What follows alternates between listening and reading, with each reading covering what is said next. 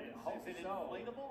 Uh, no, I think it's a full mannequin. Normally, uh, she's tied up here, hanging down as, yeah, a little bit of tongue-in-cheek humor. Oh! Took out a wrist.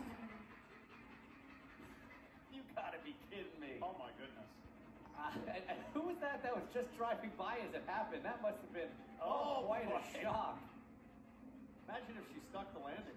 Put this into the uh, list of things you don't see at a racetrack. By the way, her name is Georgina, uh, and this racetrack is full of lots of interesting um, characters and statues and things. And it's Mr. Barber having a, a laugh. That's his sense of humour. But